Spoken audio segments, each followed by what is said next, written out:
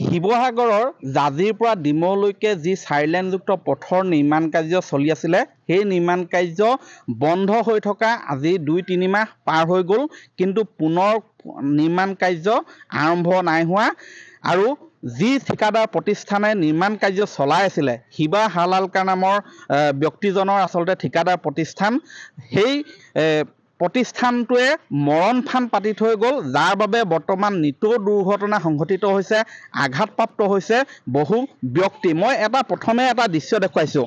সেই প্ৰতিষ্ঠানটোৱে এইধৰণে আধা কিছুমান কাম কৰি বৰ্তমান পলায়ন কৰিলে কোটি কোটি টকা হ্ৰাস কৰি লৈ গুচি গ'ল। এইটো যিটো বক্স কালভাৰ্ট দেখিছে এই বক্স বক্স কালভাৰ্টটো ইমানেই নিম্ন মানদণ্ডৰকৈ বনাই থৈ গ'ল যে এইটো বৰ্তমান ইয়াৰ নিৰ্মাণ কাৰ্য সম্পূৰ্ণ হোৱাৰ পূৰ্বেই এই কালভাৰ্টটো সম্পূৰ্ণ হাউলি গুচি গ'ল। ইয়াৰ যিটো দেখিছে এটা অংশত বৃহৎ ফাট মেলিছে সেইটো হাউলি পৰি গুচি গ'ল। ইয়াৰ উপৰিও ইয়াত যিবিলাক আচলতে স্থানীয় বাসিন্দা আছে সেই বাসিন্দাসকলৰ যিবিলাক বাসগৃহ আছে এই নিৰ্মাণ কাৰ্যৰ কাষতে আছে এইবিলাক আচলতে তেওঁলোকে বৰ্তমান এইবিলাক স্থায়ী লোক স্থানীয় লোকসকলে নিতৌভাৱে জমৰ যন্ত্ৰণা ভোগ কৰিছে।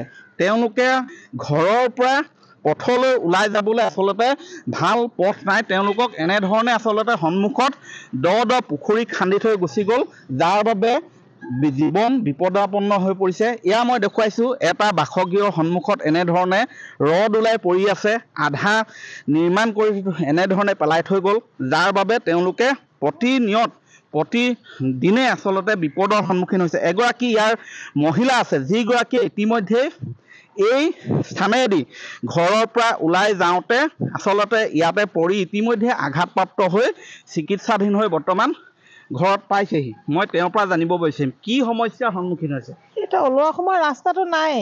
ওলোৱা সময়ত ৰাস্তাটো নোহোৱাৰ কাৰণে এতিয়া মোৰ স্কুটি এখন আছে ওলাই নিওঁতে লুটি খাই এনেকৈ গৈ এয়া পৰি সেয়া ভৰি সেয়া মুখত এয়া দুখ পালোঁ। ইয়াত সোমাই গ'লোঁ কালভাৰলৈ এনেকৈ গুচি গ'ল। আৰু ৰাস্তাটো নাই এতিয়া লোহাৰ কেনেকৈ অহা যোৱা কৰিব? সেইদিনা ল'ৰাটোৱে বাইক লৈ বিহুৰ দিনা ইয়াতে বাইক লৈ সোমাই গ'ল লোহাৰ ভৰিত সোমাই গৈছে। এনেকুৱা বিপদ কৰে নেকি চাওকচোন আপোনাৰ এয়া গোটেই মুখত ঘাঁ। হয়। ইয়াত পৰিলোঁ। এই ওলোৱা সময়ত ৰাস্তা নাই যে হাউলি গুচি গ'ল।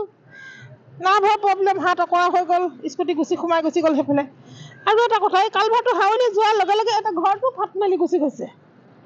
এটা ফাট মেলি ঘৰটো গুচি গৈছে। চাবলৈ আহিছে নে ঠিকাদাৰ নাই নাই নাই নাই নাই। নাই নাহিলে দেই। প্ৰশাসনৰ মানুহ আহিছেনে? তেনেকৈ অহা দেখা নাই মই মই আৰু নাথাকোঁ তেনেকৈ কামত যাওঁ লোকৰ ঘৰত কাম কৰোঁ।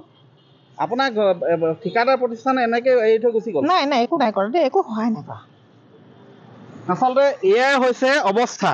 ঠিকাদাৰ প্ৰতিষ্ঠান মই পুনৰ কৈছোঁ শিৱা হালালকাৰ প্ৰতিষ্ঠানে তেওঁলোকে ইয়াত কাম কৰিছিলে আৰু অতি কামটো নিম্নমানৰ কৰিলেই তাকো আধা নিৰ্মাণ কৰি আচলতে অৰ্ধনিৰ্মিত অৱস্থাত এনেধৰণে পেলাই থৈ গ'ল যিবিলাক বৰ্তমান মৰণ ফাণ্ডত পৰিণত হৈছে। মই সেই দৃশ্য পুনৰ দেখুৱাইছোঁ। এই ধৰণে আচলতে ইয়াত যিসকল স্থানীয় বাসিন্দা আছে তেওঁলোকে ঘৰৰ পৰা হাইৱেলৈ ৰাষ্ট্ৰীয় ঘাইপথলৈ বা আন পথলৈ যাবলৈ কোনো ৰাস্তা নাই এনেধৰণে বিপদজনক অৱস্থাত যাবলগীয়া হয়।